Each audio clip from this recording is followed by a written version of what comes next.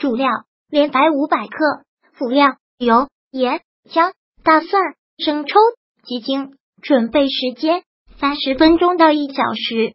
制作时间：十分钟内。莲白撕成片，洗净。锅内烧油，放入姜末和蒜末，再放入莲白炒匀，炒至莲白断生后，放入生抽，放盐，放鸡精，炒匀即可。